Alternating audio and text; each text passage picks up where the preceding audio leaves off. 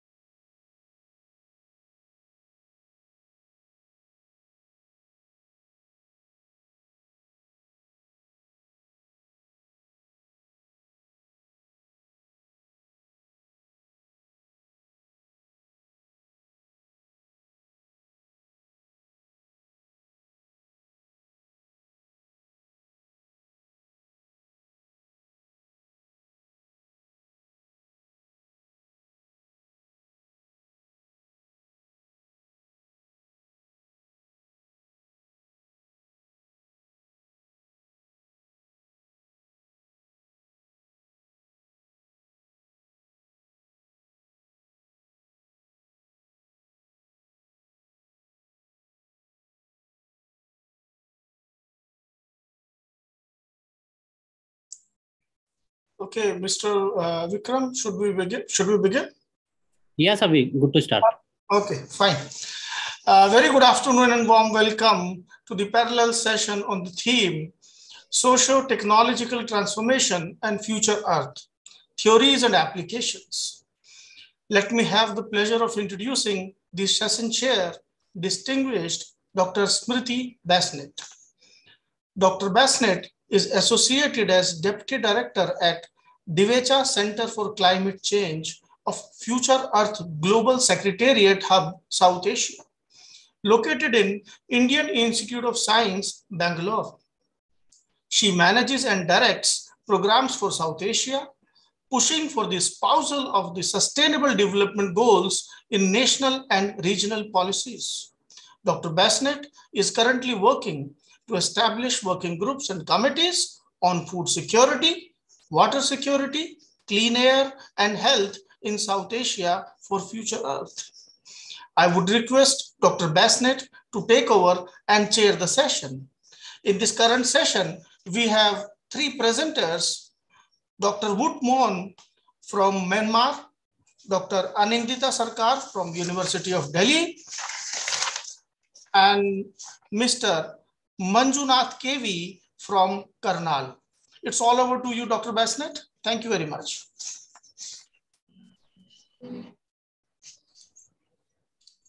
Thank you very much, Nitin. Thank you to all the organizers.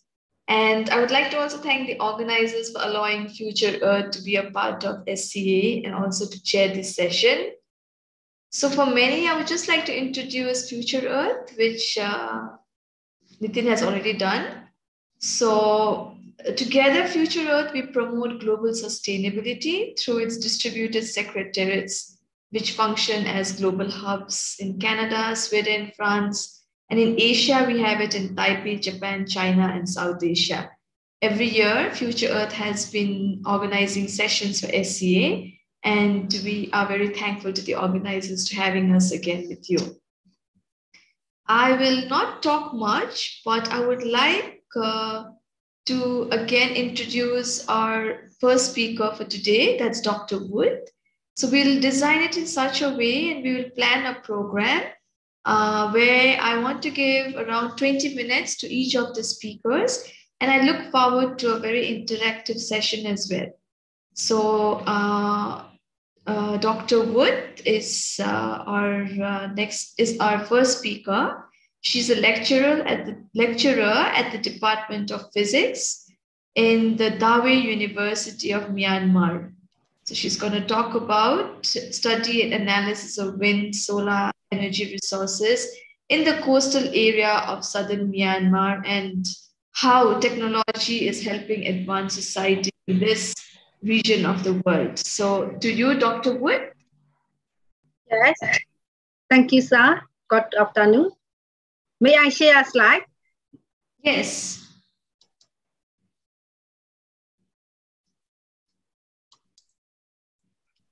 Uh,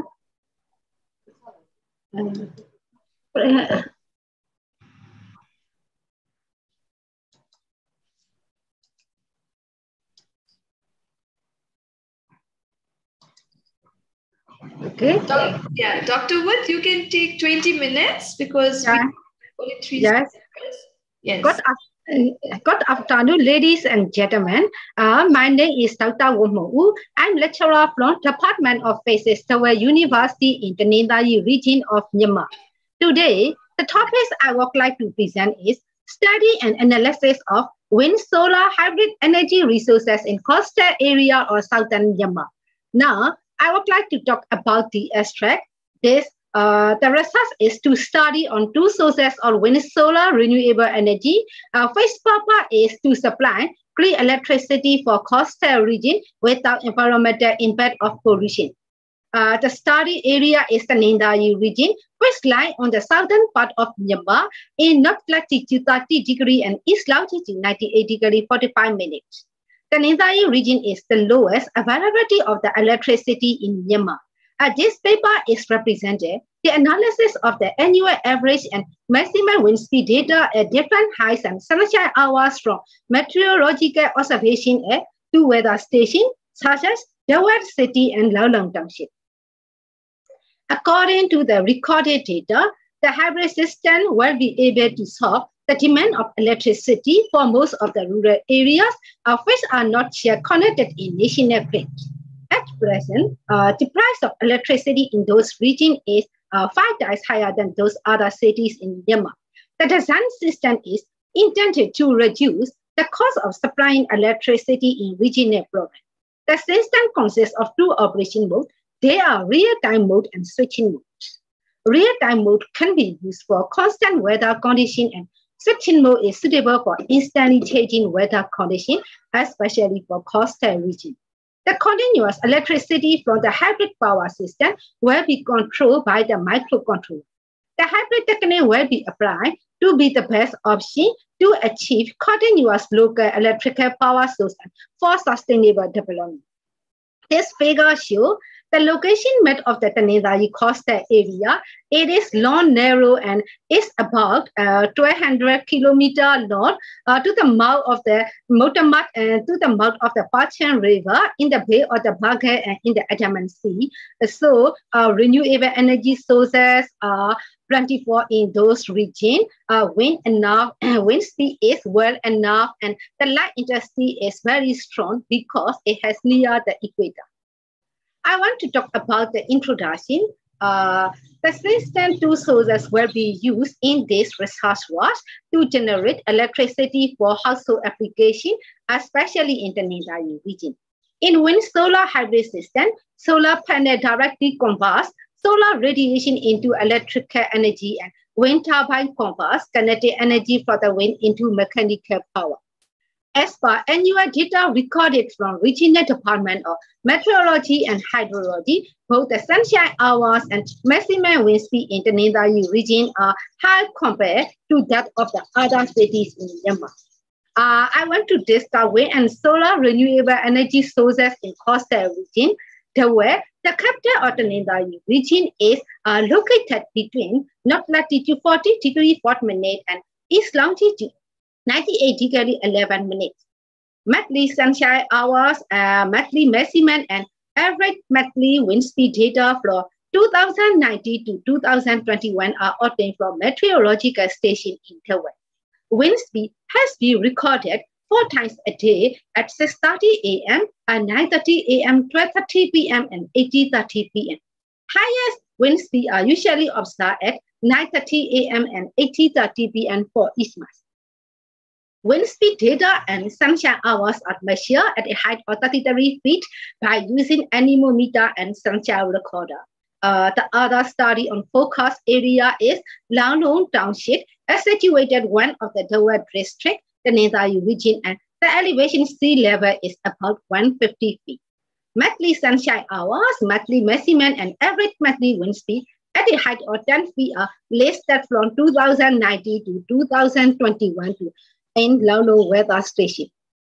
The other study area is Lake, uh, a coastal town in the Tanintharyi region in Myanmar, located in the southernmost part of the country on the offshore island of the Andaman Sea.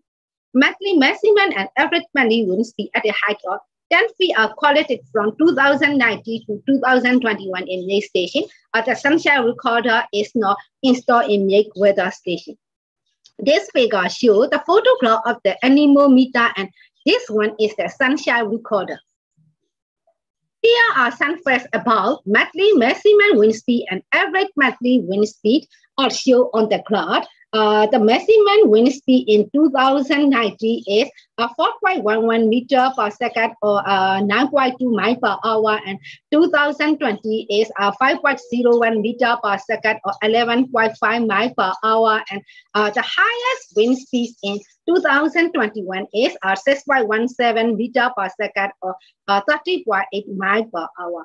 Interesting first we found uh, wind speed increases year by year. Similarly, uh, you can see uh, the highest wind speeds for three years as Laulo station. Uh, those price are uh, 3.65 meter per second and 4.065 meter per second or uh, 5.01 meter per second. The highest uh, wind speed can be observed in uh, February 2021.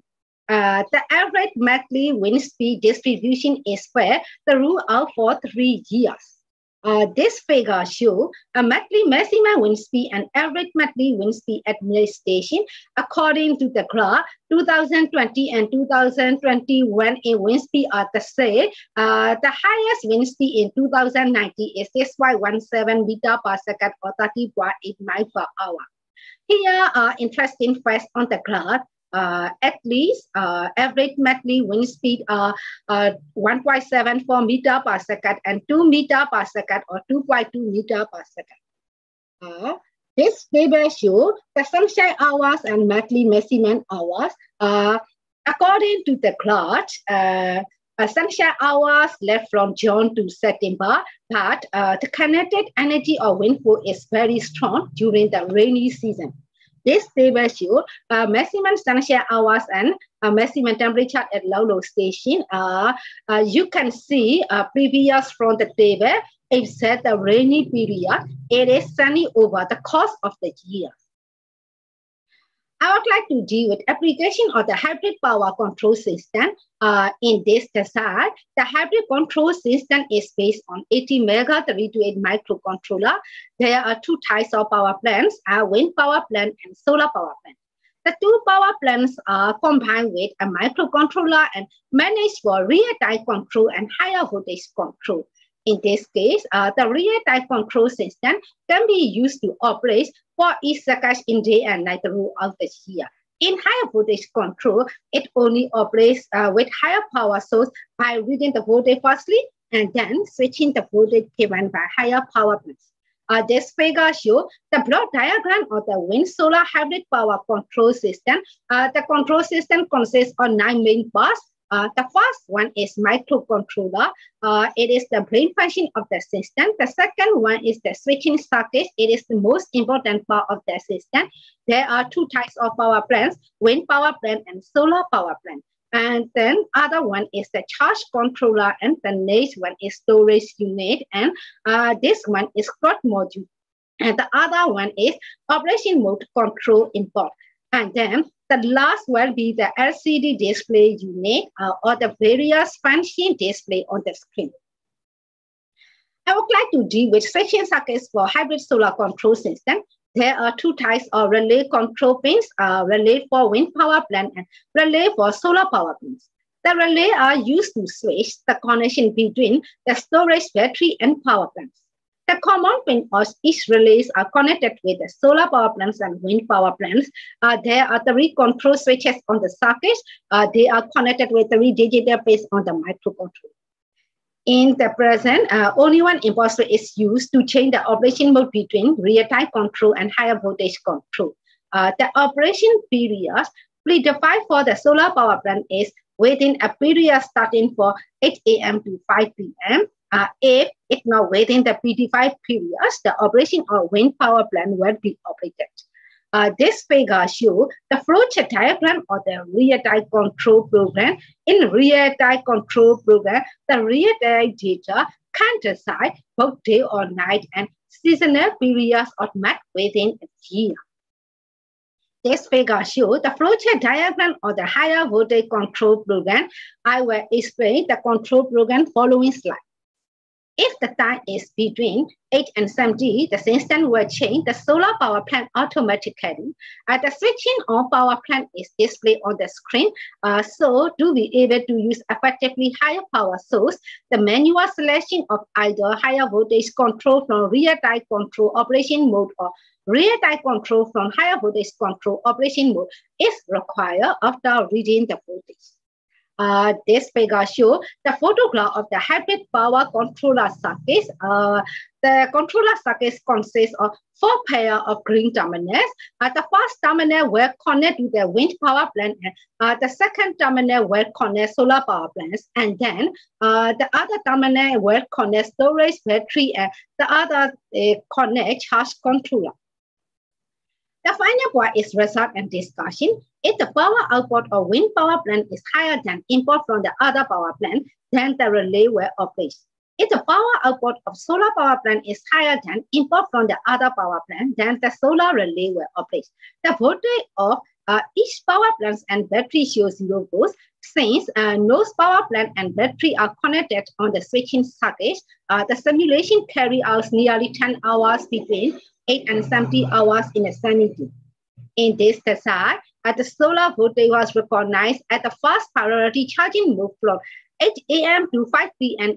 the wind charging mode will start uh, working after solar charging time.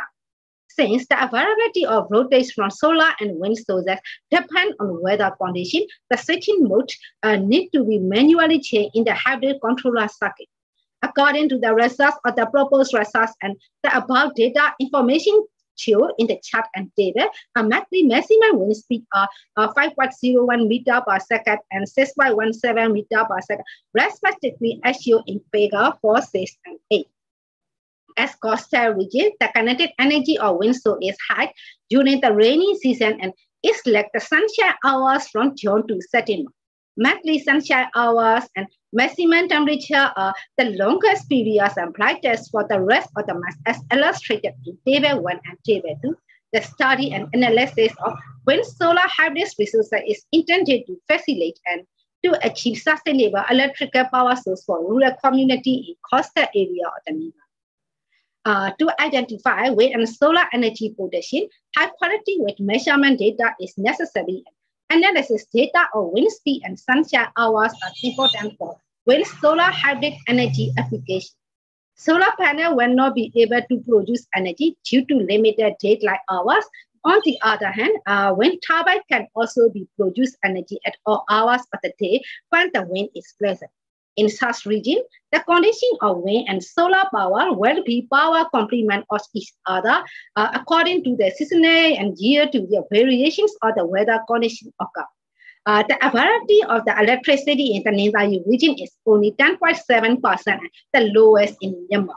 Uh, using the application of wind solar hybrid uh, renewable system as well as uh, is the best solution for a remote area in the coastal region of southern Myanmar that is stay far away from the access of electricity. There is acknowledgement. There is my reference. Thank you for your kind attention.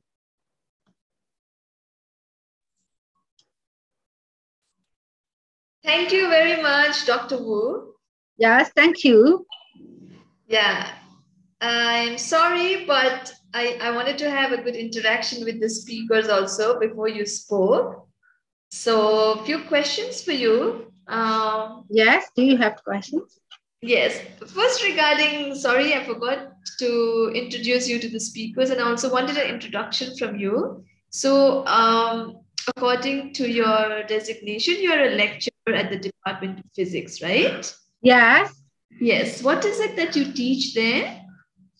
Uh, I teach physics specialization. Uh-huh. And are you right now based in Myanmar? You're speaking from there? Yes. Okay, okay. Lovely to know that. I wanted to know is this a part of your university project, which is also done by the students? Yeah. Uh, yes, yes. Uh, this is a school project. It's a university project, am I right? Yeah, yes, uh, university projects for school projects. Uh, and uh, we need to uh, plan out plan out for a hybrid system for local areas. At present, we have study and data and analysis for uh, wind speed and sunshine hours and plan out for hybrid system for local areas. Yeah. So are you experimenting it first in the university or have you put it in place in the coastal area that is in Tanintharyi? Have you placed your instruments there? Yes. You have already placed your instruments in the region? Because I missed that picture. I just saw the uh, I uh, study at present uh, uh, we have uh, study and analyze the data uh, and carry out this project uh, a future. Yes. Okay okay. So just out of curiosity what is the cost of one of your hybrid power units? Uh, if uh, got a good weather condition, uh, the hybrid power uh, will be reliable. Can you repeat again? Yeah.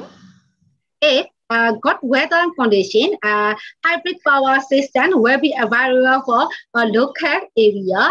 Uh, and uh, this cost, uh, the electric, the price of electricity will be able to reduce uh, this area. No, I was asking the cost of your instrument and the tool that you have built. What was the cost that was incurred Uh, building this, for building this instrument? Uh, I, I will construct the controller circuit, uh, know the construction of the solar panel and uh, uh, wind turbine. Yeah, All right, all right, yes. All right. So, just wanted to know. So, you in your figure, you said that um, during monsoon season there is less of sunshine hours. Uh, yes, Yeah. So the nighttime is not an issue. So you do have good wind speed there. yeah. Oh. Uh, all the time is not good wind, uh, but uh, as the coastal region, uh, suddenly changing weather, uh, the, in higher power control source, uh, I can press uh, the switch. Yes. And when are you planning to put this on ground so that the community can benefit from it? When do you? Uh, I believe uh, this. Uh, uh, the, uh, I believe that uh, the hybrid system controller circuit will be uh, advantageous for the local areas. Yes. When are you planning to put it in place? Uh, yes. Uh, I will connect the local government and uh, uh, to support uh, to to man support uh, this project for planning. So is the government of Myanmar also supporting you or is this uh, universal? Uh, yeah, if, if supporting you, uh, uh, I, uh, this is the uh, suppose for the university advantages. Yes. All right. Good luck for your research on this. Yes, thank you, sir. We will, yeah, I'm Smriti. So we will continue to talk. If there are also questions from the speakers to you, we will take that at the end of the third speaker. So with that, we will mo move to our next speaker.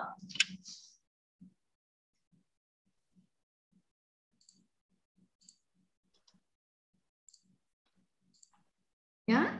Uh, okay, so we can, I think we are on time. So we can take 20 minutes for the next speaker as well. Uh, pleasure, in fact, to introduce Dr. Anindita Sarkar, Associate Professor from Department of Geography from the University of Delhi. And uh, we did have Dr. Wood talk about how technology is helping advance society in terms of the needs, you know, uh, for to make it affordable for public and society at large. And here I'm looking forward to Dr. Anindita Sarkar's uh, um, presentation, where we see technology as a hindrance in some kind, and how technology in a way also deteriorates societal values. So I call Dr. Anindita Sarkar to present her work. Uh, good afternoon. Can I share my screen? Yes, yes.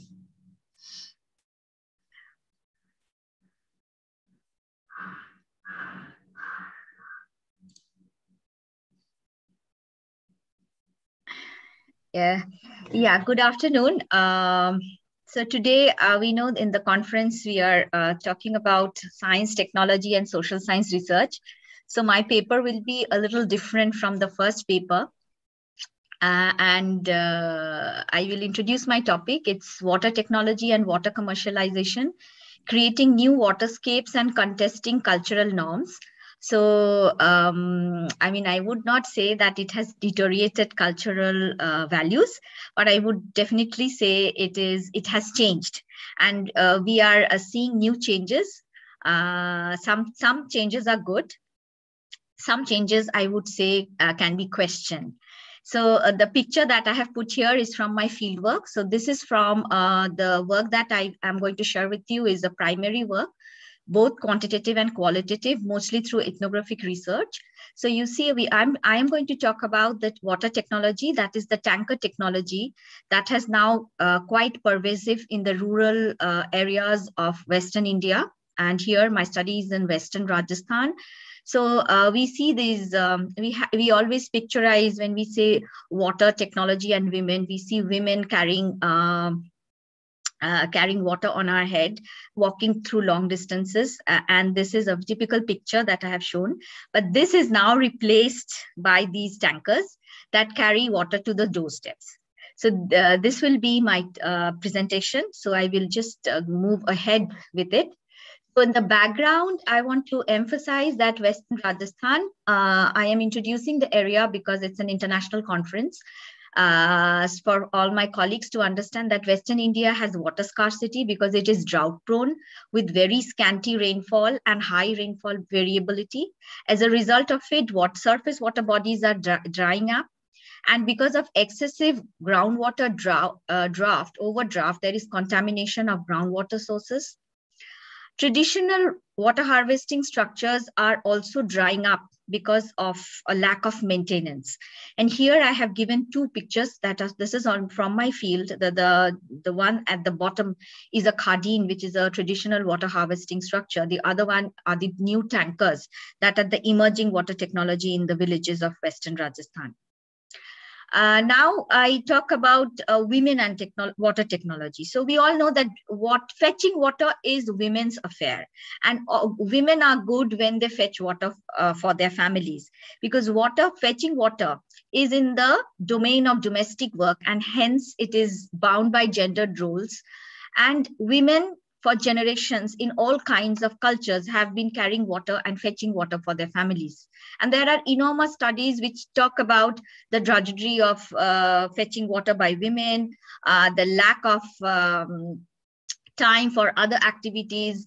Uh, generally, uh, fetching water doesn't lead to her well-being because she loses on other paid employment, uh, double burden, labor, uh, you know, working for the family, working outside, in a way, wherever there are water scarcities and women have to walk long distances, carry heavy load of water, her well-being is not taken care of.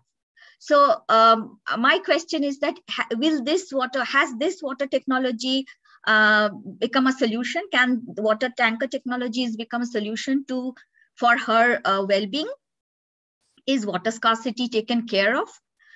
So uh, we see commercialization of drinking water is now quite prevalent by using private tankers and they are carrying water to the interior villages in Western Rajasthan and giving door-to-door service. So that is true that women are, uh, some uh, women do not have to go to the water sources to carry heavy loads of water. Uh, but now in this, it, it looks very simple that now you have a technology and hence the well-being of women are taken care of. But in this study, I'm going to look at how multiple fa factors are interplaying in a complex and interactive way. Uh, because the gender, water, and technology relationships are very complicated. And that's why I'm looking at whether uh, technologies are not value neutral. So science gives, uh, invents technology. So technology is science and technology is there to make our lives easy, to make quality of life better. But it is pertinent to see how social identity like gender, wealth, patronage, dependency relationship shapes the accessibility of this technology or accessibility of water, which the technology is helping us to get. So and, uh, I have these uh, four main objectives or research questions. How has technology addressed the issue of drought and water scarcity in Western Rajasthan? Does modern uh, technology help in mitigating water stress? Has all people in the community equally benefited from modern innovation? Uh, how has the technology adoption affected the gendered roles and cultures surrounding water? So this is a slide where I have given introduction to the study area. And uh, here, two, three points I want to just focus that 33% of villages in Rajasthan are covered under rural drinking water. And uh, of course, uh, there is a long way to go to achieve the SDG 2030, which is access to affordable clean water for all. So uh, we can see that in Rajasthan, that's quite low uh, and it was also low during the millennium uh, targets. And there is severe problems of water scarcity projected because of climate variability ex uh, expected increase in erratic uh, precipitation average temperature rising land degradation desertification. And on top of that population is ri rising very fast uh, declining the per capita access to water. So that is a big big issue now, uh, how have I done the research? As I told you, I have taken a mixed method approach to, through both structured questionnaires and qualitative survey, mostly ethnographic fieldwork, focus group discussions. Uh, and uh, I have chosen uh, villages from three districts of Rajasthan, the dry western district, Jaisalmer, Jodhpur, and Barmer. And I have uh, spotted my villages here. And these, uh, the households have been randomly chosen from the villages, which uh, and carefully chosen to represent all the communities in the villages, representing all castes and religion. Uh, here I will come to the discussions, uh, the findings. First, we see that the that very less percentage of households have access to water at homes. So also according to the census, uh, the last census that only 21% of rural households had drinking water sources within their premises and 47% had very far away. And here also we see that villages, uh, the villages that uh, we, uh, that I that we surveyed, women had to walk one to nine kilometers to fetch water. So water scarce districts are those districts where um, uh, eh, the uh, water scarcity is there. And uh, but we have to see very interestingly that when we look at where is source of water, the source of water is very far away. Uh, how?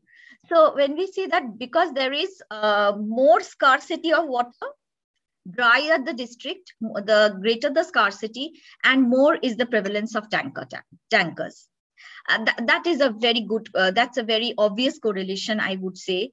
So the water tankers, uh, there's another thing here I really want to focus is that when we looked at the caste composition as to who buys water, who access the water tankers, very interestingly, it, the technology has been biased because low caste people of the villages in Western Rajasthan are buying less water.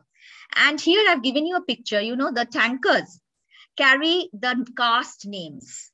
And because water in Indian society is tied to the concept of purity and pollution, and Rajasthan in interior villages still today, water is not shared among different caste groups.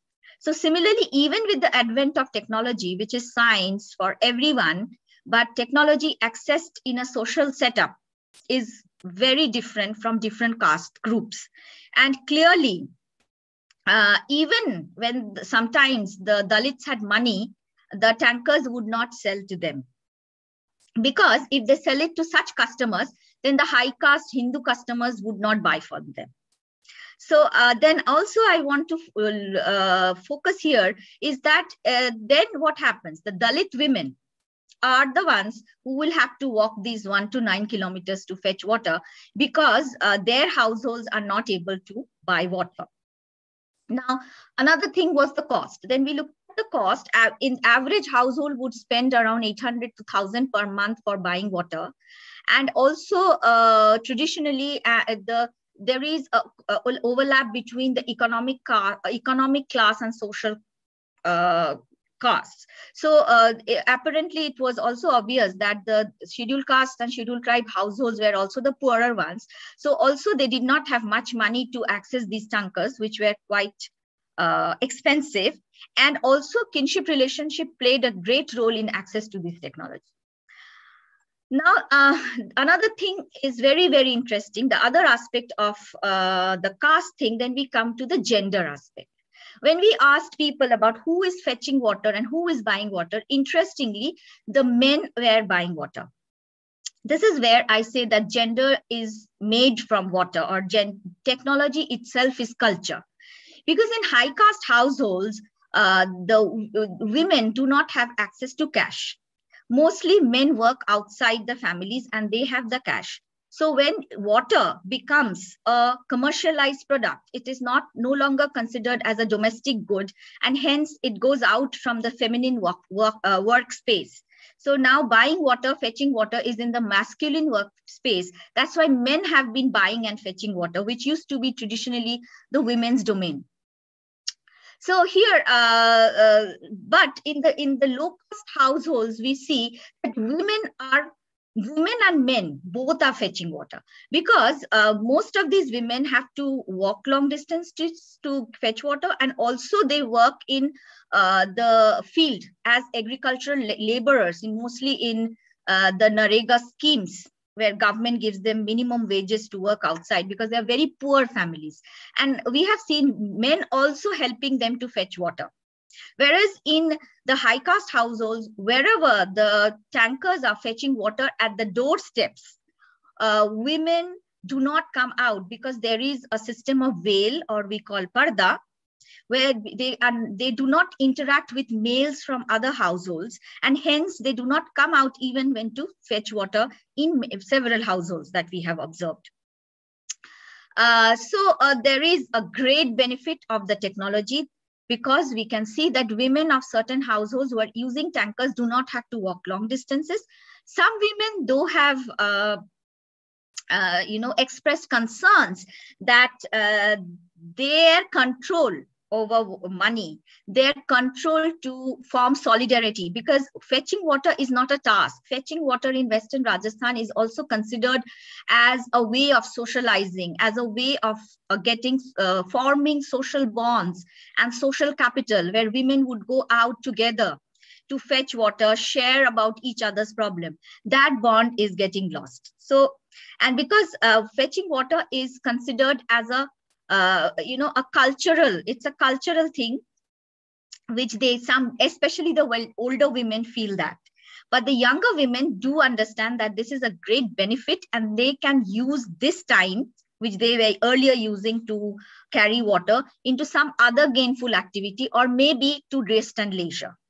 But nevertheless we must appreciate that now the women have choice of not going out to do, do this task. So definitely it has selectively mitigated water stress because I have said that water being tied to the concept of purity and pollution, even with money, sometimes Dalits are not able to buy water. Low caste women are doubly deprived. Well, now because they have to walk to fetch water, lug water, do wage labors because uh, they're very poor. They have to work out to sustain the families and as well have to do household tasks of taking the care of the ch- children and the elderly. So new techno- water technology is altering cultures. So men without fuss are collecting water and they are seen in participating gender tasks.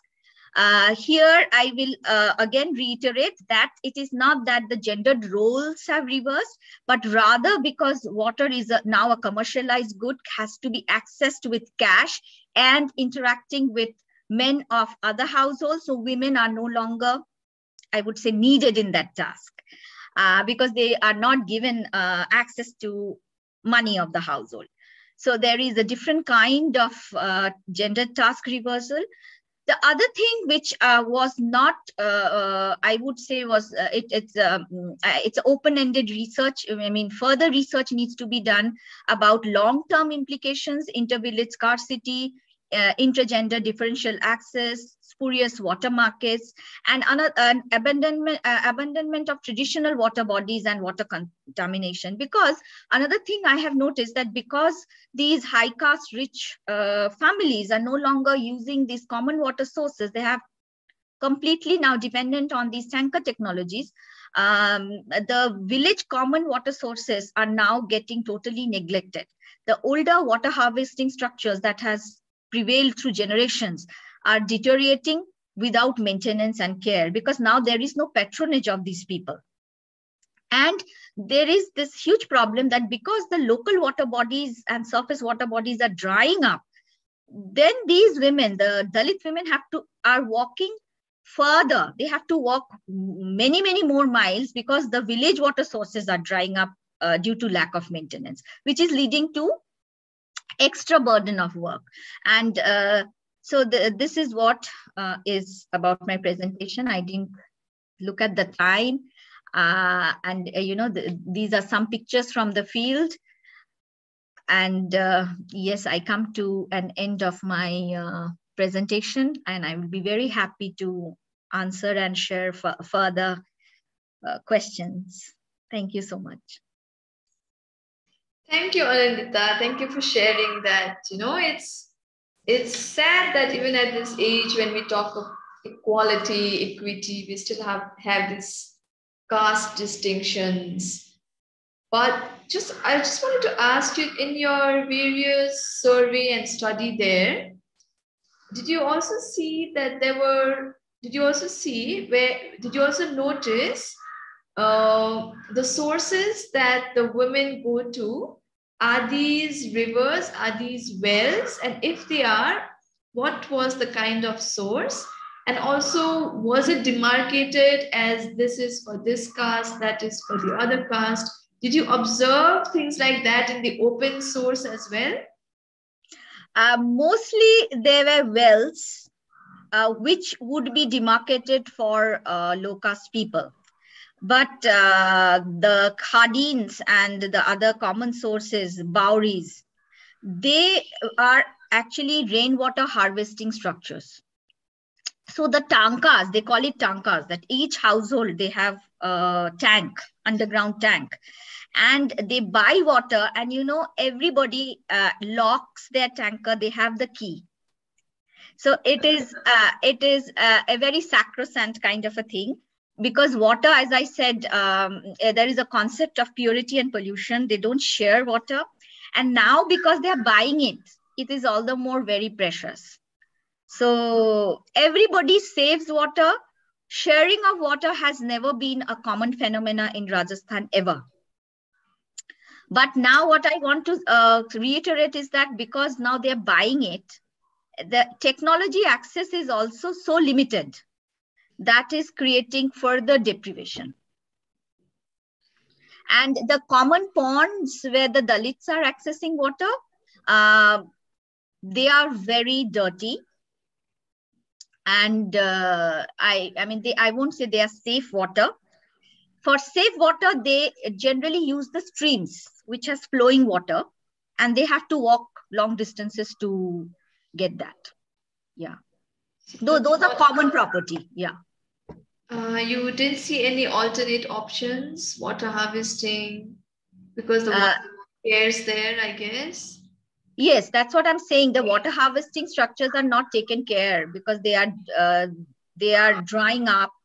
There are siltation, so it requires a uh, you know communities work to keep that harvesting structure going. Is is there So- success models in around in and around those villages and towns Uh, at least where we had gone, uh, there were no successful models of community participation in water harvesting. And, uh, you know, uh, this is from a project which we did on uh, climate change and sustainable livelihoods. So, uh, when we went to the field, these are the new things that kept on coming. And it was very surprising that the traditional water harvesting structures are not taken care of because water is now easily accessed through tankers and people want it at doorsteps. Mhm. Yeah. Also, I see the other side where I see, you know, going out to fetch water in Yes, society is a recreational activity, something for the women folks to come together, talk to, you know, talk about exactly.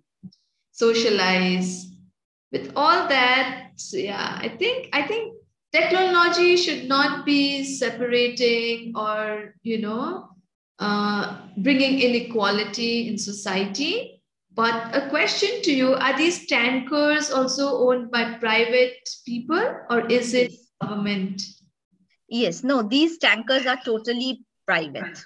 They're all private tankers. They carry water from the nearby stream or the Indira Gandhi Canal. Okay and, They they procure water from a common source and just give it at the doorstep. That's it.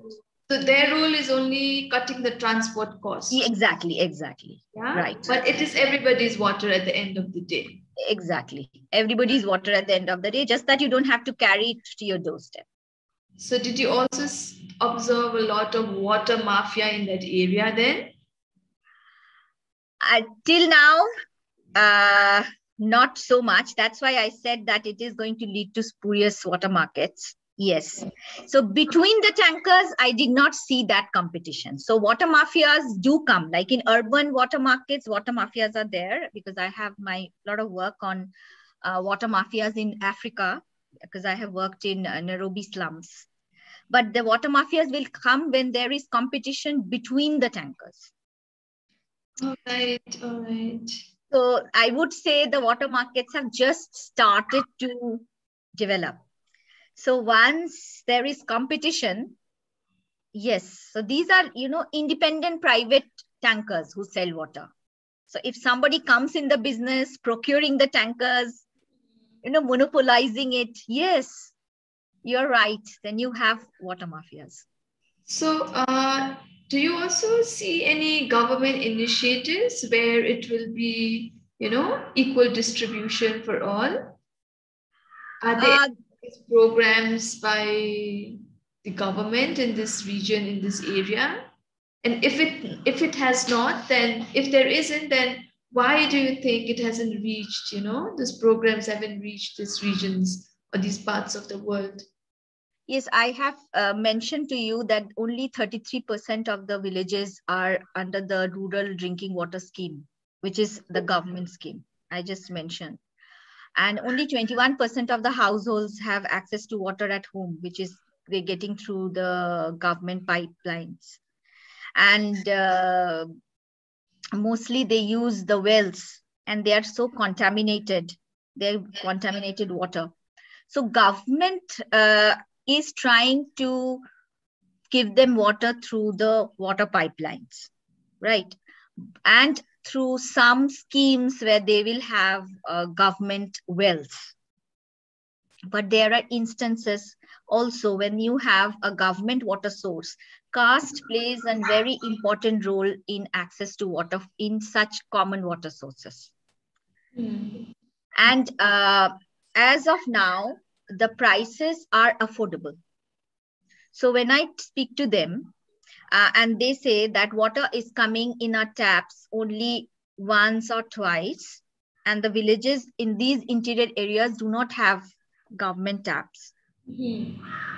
So they, if they can afford, they would of course like to have water at the doorsteps. Yeah, but afford also is a very broad term, you know. For yes, that's what I said. only huge, those rich. Yes. Yeah, only those rich. So, yeah, and then there are a lot of questions which are which have come from the audience. Let me just shoot that because we okay. have, and I think I would like to take it here after each speaker. I don't know who this question is from, but they want to know if there are any ancient indigenous water harvesting technique in Rajasthan? Yes, there are lots of lots of ancient harvesting techniques, okharis, bauris, nadis, khadins. So there are lots and lots of ancient water harvesting structures. And uh, there are um, sometimes community participations which help in uh, reviving these. So one of our recommendation was to revive these water structures. Mm, but you know what i'm trying to question is that if the rich people or the patrons of these water harvesting structures they are like you know so if these people are getting water at the doorstep as i said so called affordable rates they are not uh, interested in taking up the pain to revive these uh, harvesting structures. So, you know, this is kind of a shortcut. Hmm, I know traditional structures, it's difficult to hold on to them. Exactly. But so because is, it's there is a tragedy of commons that some people say that yeah. if three people are reviving it for 30 people, hmm. uh, they don't want to. Traditional knowledge is something which should not be lost. Exactly. So, and you know? is a common property but then with easy money to spend and the time taken to build it i understand. So another question again i think it did, did answer. I don't know who this question is from again. What engineering and technology you suggest for increasing the water source supply to villagers?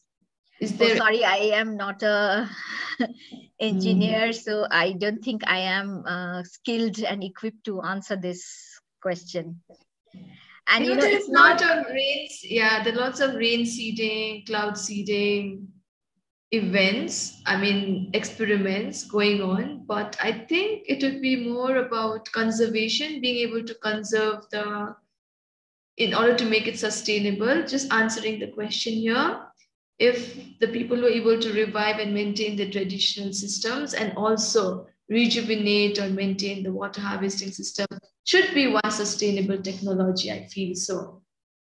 And another question again, who is responsible for denying water to Dalit? What protection and action is needed? Oh, this is a very important question. Although constitutional rights gu guarantees that you know untouchability is a criminal offense, but uh, these are cultural uh, social norms. So I, uh, I, I I did discuss this that water selling is a business Okay, but the it is uh, money does not only consider the business. So even if you have money, you're not buying it because the tankers are here purely for business. So if they start selling it to the Dalits, if they if their tanker pipes touch the tankas of the Dalits, then the high caste people will not buy from them. Mm-hmm. So you know that is why they deny water. So mm-hmm. uh, it is because of the no cultural notion of purity and pollution. The Dalits are in those kinds of work that uh, that those are polluted. Mm-hmm. So the tankers, just because they do not want to lose customers, they do not sell. So I won't say the tanker owner per se is following casteism. A question. Right. A question. Suppose if there was a millionaire who was in the rank of a Dalit, where would the, you know, where would the game be then? I uh, th- then that that the game will be different. The if anybody wants to uh, purchase water will purchase. But I also mentioned here that Dalits were the Dalits were also the ones who were poor. So there will be very few Dalits who would be able to afford that price, right?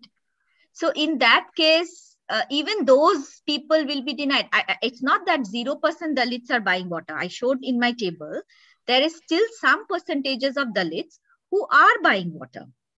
Mm-hmm. They can buy water. But there is a problem. Even if they have money, they have to negotiate for the water. Lovely. Anindita, we will hold on that thought also. We'll come back because we have another speaker and we would like to hear from Manjunath. You can stop sharing your slide. So Manjunath is a PhD student and a scholar from ICAR, from the National Dairy Research Institute. So from wind to hybrid system of wind and solar to the water problems in Rajasthan, I think we would like to listen to what Manjunath has to say about the climate services for the buffalo farmers and how technology is helping reach out to the end users, to community, to farmers. Look forward to that, Manjunath. Yes, present. Am I audible now? Yes. So good afternoon, everyone. So firstly, I feel honored and thankful to ICSSR and Science Council of Asia for giving me this opportunity to present my study in front of experts. So uh, myself, Manjunath KV, I'm a PhD scholar in National Dairy Research Institute and I am presenting my topic on climate services for Murrah buffalo farmers, an effective adapt, uh, adaptation strategy against the climate change. So firstly, coming to the climate change scenario in India, India's average temperature has increased by around 0.7 degrees Celsius in the last one century and is projected to rise by around 4.4 degrees Celsius by the end of 21st century. Manjunath, let me stop you there. Can you share your slide? Your slides are not moving. If you could uh, present it in a presentation mode. Whether slides are changing? Hello? It is changing. Yeah. Yes. If you could direct. Sorry? If yeah, so if you could present it at the bottom of your presentation, you go to the screen slide because it's not visible. It's or simply you can press F5. It will become the presentation mode.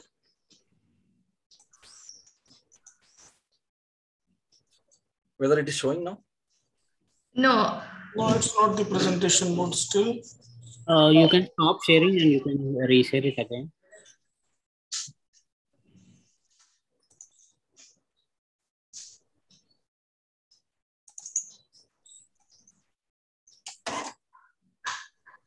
Hello? Yeah, this is, is this is better. Absolutely. Please go ahead. Yes, yes, thank you. Uh, India's uh, summer monsoon precipitation over the India has declined by around 6% from 1951 to uh, 2015. And India have experienced more than two droughts per decade on an average. And area affected by drought has also increased by 1.3% uh, per decade or in the last one century.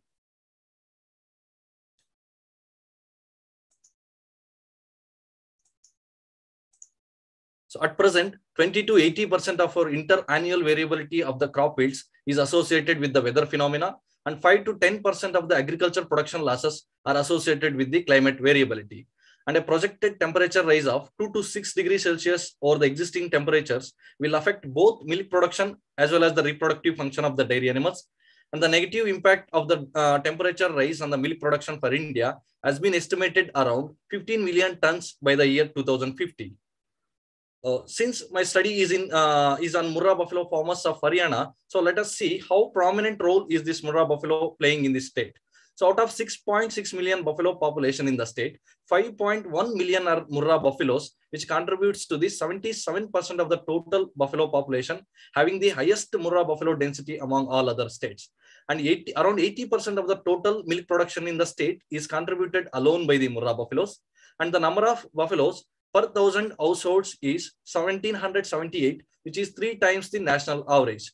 And the central part of Haryana is also considered as breeding track of Murrah buffaloes. Next, coming to so how this climate change is actually affecting the Murrah buffaloes.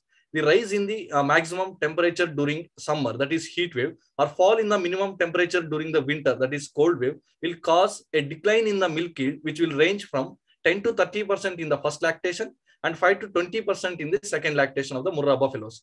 And the buffaloes have higher sensitivity to heat stress due to their thick black skin, deeply situated uh, sweat glands, and sparse body hairs.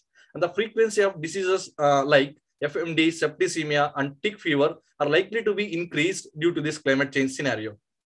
In the hot, dry summers, particularly from the March to June, which is uh, widely predominant in the northern part of India, will affect the reproductive performance of the Murrah buffaloes and the milk productivity of the Murrah buffaloes will decline by more than 1% per each unit increase in the maximum THI above 82.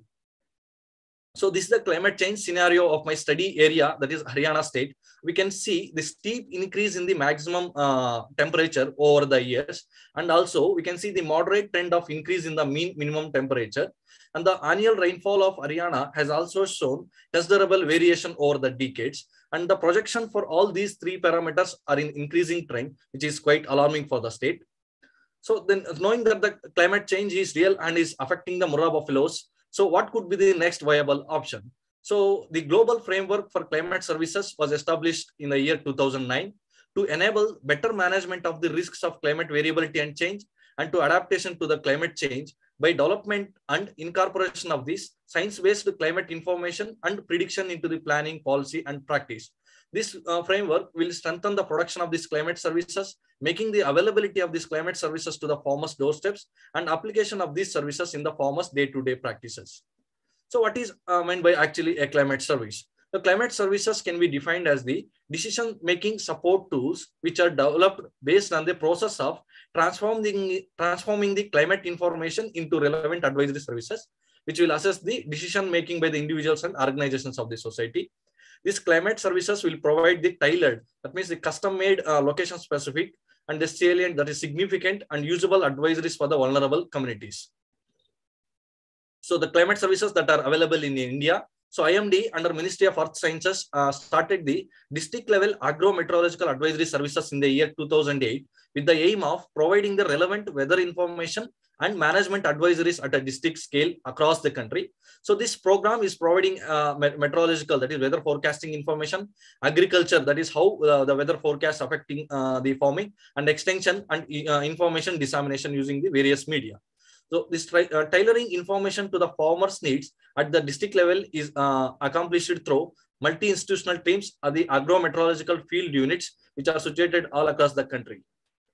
So next, adaptive measures that are suggested through the uh, this agromet advisory bulletins, which are issued for the each districts. So these agromet advisory bulletins will uh, uh, will give advisories to the farmers regarding uh, cultiv cultivar selections, choosing their windows for sowing or harvesting operations, irrigation scheduling for optimum water use, mitigation from the adverse uh, weather events like frost, low and high temperatures, etc. The fertilizer applications like dose and time, the pesticides or fungicide uh, spraying schedule based on the weather uh, forecast, and the feed health and shelter management for also the livestock. So uh, the beneficiaries uh, uh, with this agromet advisory service are expected to be 21.69 million farmers across the country. And the agromet advisories as of uh, presently are covering uh, sectors like crops, fruits, vegetables, livestock, water supplies for irrigation, and efficient use of the chemicals. And the impact is the decreased uh, cultivation costs up to 25% and the increased net returns of farmers up to 83%. And economic is benefit, economic benefit is estimated to be around US 7.5 billion dollars per year. So these are the few uh, these uh, case studies are uh, the uh, from the uh, benefits beneficiaries of agromet advisory services. The former Sri Narayan by Chadwa has, has reported that since 1992 he have been getting these weather advisories every Tuesday and Friday. So these advisories have helped him mainly in planning agriculture activities, especially vegetables and cereals.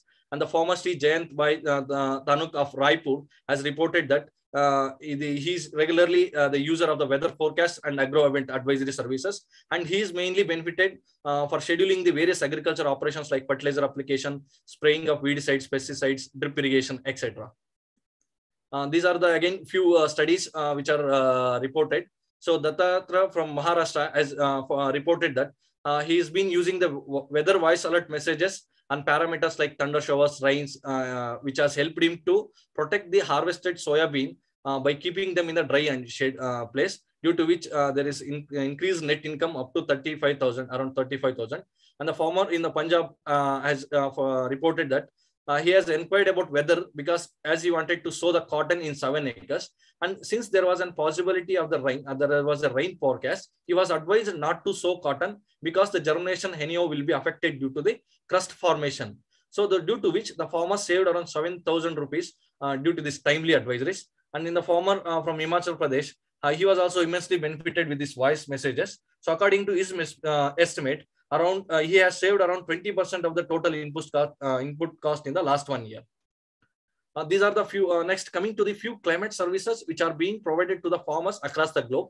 So ICRISAT, uh, a study uh, in Kenya has found, has found that the farmers are highly benefited to the climate services, which has enabled them for more input use, uh, more efficient input use and improved yields. And uh, Rathore and Chattopadhyaya uh, in a study across the India has found that the agromet services of IMD has helped the farmers to maximize their output and also minimize their crop damage or loss and these advisories have helped the farmers uh, to anticipate and uh, plan for various uh, chemical operations like chemical applications, irrigation scheduling, etc. And again, a study by uh, and Chandras uh, uh, has found that around 20 to 25% of the economic benefit is obtained due to this adoption of the advisory services. And the Gurpreet et al. in their 100 kilometer range from the IARI Institute, New Delhi, has found that the wheat farmers were able to reduce the input cost and uh, increase their net profit. And uh, Tall et al. in the study in Uganda has reported that the farmers use these weather advisories 3.4 times, and due to which they have uh, mainly these farmers have used information uh, when uh, during uh, making decisions regarding when to plant their crops and how to manage them. So this is the locale optimized study, uh, the central part of Haryana. So here right side we can see in the green part, which is central part of Haryana, which is called as the breeding track of Murrah buffalo has been selected and so weekly, uh, the climate services will be uh, prepared uh, for the Murrah Buffalo farmers. So the weekly module on the climate information and related advisories on Murrah Buffalo rearing and crop cultivation are prepared. So the climate information and parameters like sorry, uh, rainfall, maximum temperature, minimum temperature, relative humidity, wind speed and direction, cloud cover, weather alerts, these all parameters will be uh, assessed from the IMD agrometeorology and based on these uh, weather uh, forecasting parameters, we'll prepare the weekly uh, advisories. So Murrah Buffalo advisories will be prepared by the team. So, and we are also the agromet bulletin of the Hisar Agriculture University, which will, which is containing the crop specific advisory we are collecting and advisories on major crops for the study area are prepared. So, and we have divided the farmers into two groups. One is the experimental group and the control group.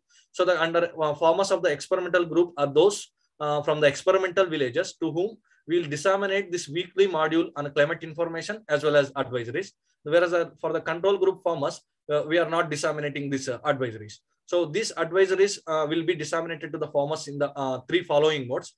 SMS services to the farmers, and the mobile based application which we have uh, developed uh, exclusively for the present study and also the uh, third one is the whatsapp mode so for the experimental uh, group uh, as well as control group, there will be a pre-test. So after which we will give this intervention, uh, we are giving this intervention only for the experimental group.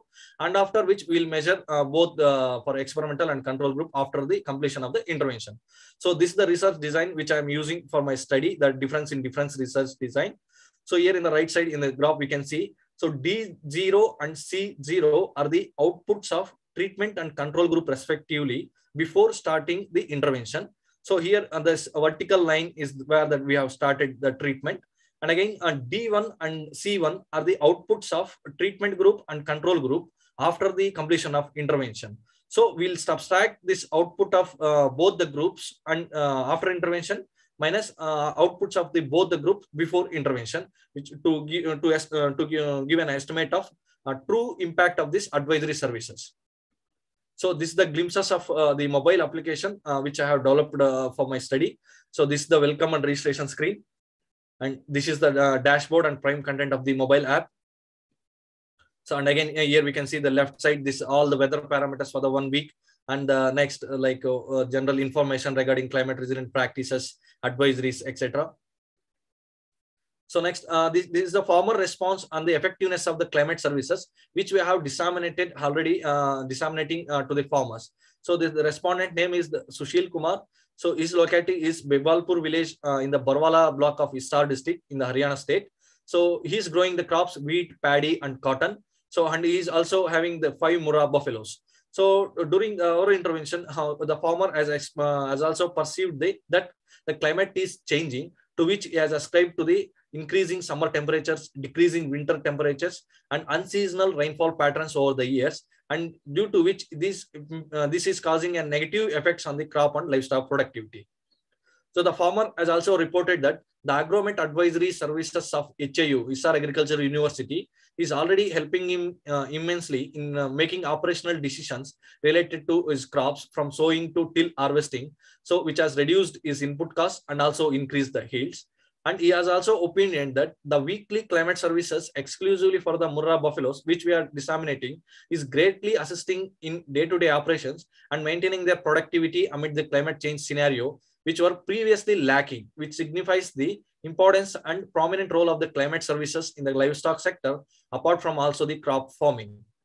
So coming to the conclusion, so the tailor-made, that is location-specific uh, climate services uh, for the farmers may be the panacea for the climate-sensitive Murrah buffalo rearing for sustainable production in the country in the coming decades.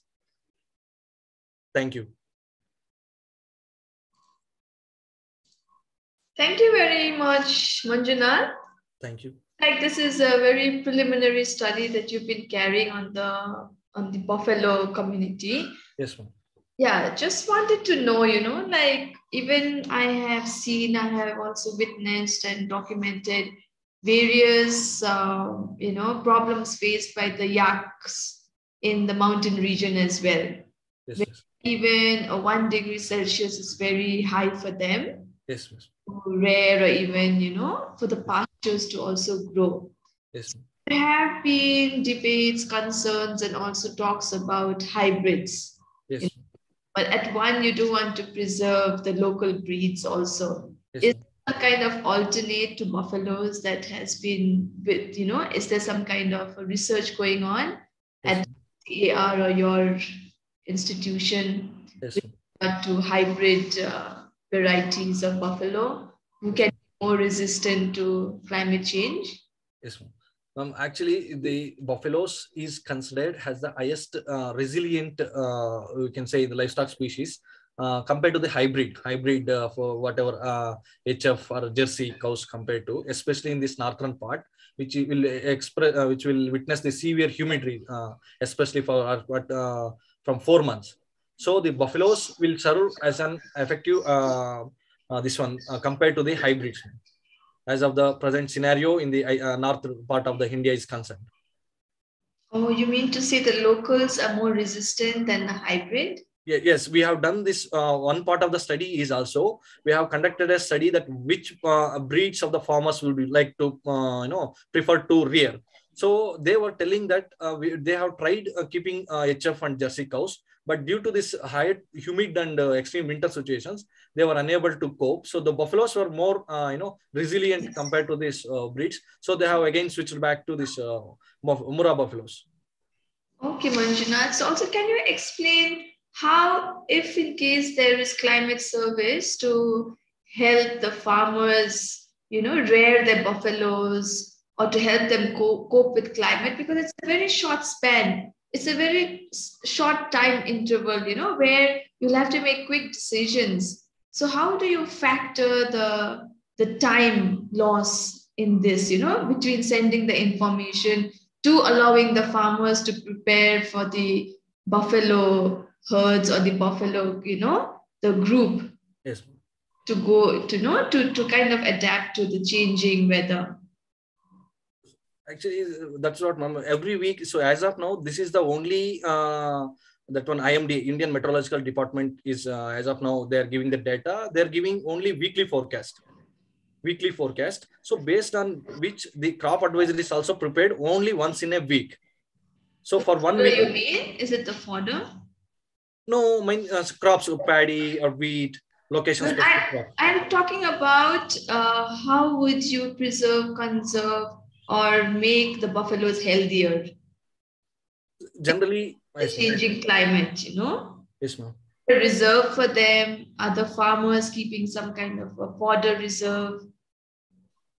yes yes like we'll advise in every aspect right from the management to fodder to their reproductive health to their nutrition so on every aspect we'll cover entire like uh, package every week every week according to the weather like this could be the, the for this is the forecast for your district in the next week that you may witness this uh, THI, uh, the temperature humidity index above 83 so that you will fo- formulate this ration of mixture to feed the buffaloes so give three times of cold water for drinking. So enable them to uh, you know bath with the cold water. So this kind of advisories from uh, fodder to nutrition, every aspect will give them weekly.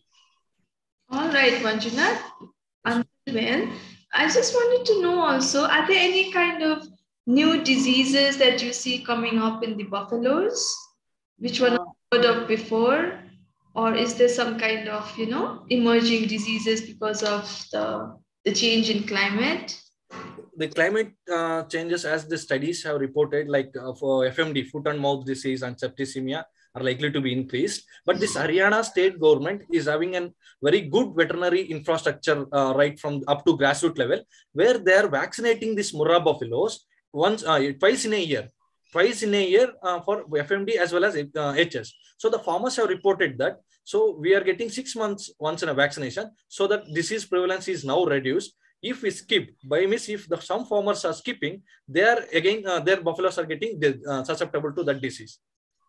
Okay, so there is a good vet service. Yeah. Yes, good vet service. This is a good news. Also, another question with regard to the climate services for the farmers. Yes, ma'am. Just a question to you because you've been working on the ground and as a researcher. Yes, ma'am. Uh, do you think all farmers are ready to listen to the advice sent by the climate experts or through the climate services? Are they open to receiving these kind of information? How many of them are against it? So, like uh, mo- mo- most of the farmers have been already acclimatized with these services because since from the 2008, they're already you know getting this majority of the farmers, we could say, they're getting these advisories from the IMD for crops, ma'am. For crops, they have IMD has started since from the 2008 itself, and also the veterinary infrastructure, as I said, in Haryana is too strong. At every village, the veterinary staff is too good, like uh, veterinary officers to veterinary clerks are there. So farmers are already approaching them. They're taking that advice. So uh, when we approached, it became too, too easy for us to mm, you know go through this veterinary officers and all. So farmers are very responsive till now. Okay, so it's it's door to door to the farmers, trying to take their numbers, getting them registered, building up the the list. Is that how you all are doing it now? Yes, I mean uh, we are selecting. uh, we are selecting from each village. We are just selecting uh, 20 farmers randomly. Okay, okay. Ah, nice. okay. not the Thank you so much. Thank you so much, Manjunath. Thank you, thank you. You know, very interesting to see that even the buffalo community is also taken care of by technology. Thank you. Also open to the climate services. Thank you. I think there is a question in the chat box. Okay, I don't know who this is from, but yeah, could it, it's to you, Manjunath. Could you Yes, a comparison of buffalo in India and other country milk product ratio and its clinical effect? Can you see the question? Uh, could you give the comparison of buffalo in India and other country also milk production based on its clinical? So I could uh, at this point I'm unable to like you know I don't know these other countries uh, what buffalo is contributing, but as far as India is concerned, not just in Haryana, the all other parts we can say the buffalo is the highest contributor uh, to the milk production in India. Highest contributor from in India, the milk production is coming from the buffaloes, and that too the 90% of this Haryana rural economy is dependent on the Murrah buffaloes here. So it is prominent role that it is playing as far as in India is concerned. There is a question with regard to in the Kashmir belt. Can you name the cloned species that can be reared in Kashmir? Are buffaloes? Can buffaloes be reared in a cold climate? I do not know. Manjunath, can they? Yes, yes, they, they, they can be grown. They, they're uh, they're highly sensitive because of their blocked uh, body structure and rarely spaced uh, sweat glands. As I said, they're more sensitivity to uh, heat than the cold than it is being too cold. So they, they, they definitely can be raised, uh, but I don't In, know. because in the Himalayan belt, I haven't seen any buffaloes. Extreme extreme again extreme uh, we cannot say extreme we can and also as uh, we have witnessed in the field study the milk production the farmers have reported high milk uh, dip in the summer season compared to the winter again the buffaloes are also prone to this disease as what i said fmd septicemia more likely in the summer Yeah, Manjunath, you're talking in terms of the cold uh, winter months in Haryana, correct? yes yes yes, yes. I am talking about rearing buffaloes in a cold climatic zone. Like Uh, Kashmir will again be uh, again be very much uh, not much difficult. Yes, it will be difficult uh, as far as uh, the uh, Yeah. study uh, experiences from our study because in Haryana is also they are facing slight difficulty in winter during extreme winter. So considering that, it will be uh, difficult to rear sustainably in the Kashmir region. so yeah, so my answer to the person who was asking this question, I think, would be maybe clone species of cows or yaks or donkeys milk, but I don't think the buffalo is possible in the in the Kashmir belt. I, I may not be sure, but this is what I've observed and seen. Yes, yes. Any other question? I would like to also call all the speakers together. If you, if the speakers have any question for your co-speakers, please feel free to ask because we have 10 minutes. If not, then we can end this uh, very interesting dialogue between between the speakers from water to buffalo. So if not, then I think, yeah, Dr. Wut is also here. If there are no Yeah. yeah, do you have any question, Dr. Wut or Anindita? If not, then I think we can end this and we'll see you again in the next session. Thank you so much for engaging. It was a it was a joy to listen to all of you. Yes. Thank Thank you. Many new, many new and many old faces as well. Yeah. Thank you so much, Nitin, also for organizing. Thank you. Thank you. Thank Dr. you. Thank you. Thank you so much. Thank you I so much. extend my heartfelt thanks to all the presenters for presenting their research. I hope that these researches will help in making this earth a better place to live. I'm also thankful to Dr. Smriti for sparing time to chair the session and sharing her valuable thoughts. Thank you very much. With this, we come to the end of day one of the conference. I hope that it proved to be fruitful in terms of learning and added value to all of us. Once again, on behalf of Indian Council of Social Science Research, I thank all the participants, presenters, and session, session chairs. See you tomorrow at 10 a.m. Thank you. Thank you very much. Thank you. Thank you, Ben. Thank you. Thank you. Thank you.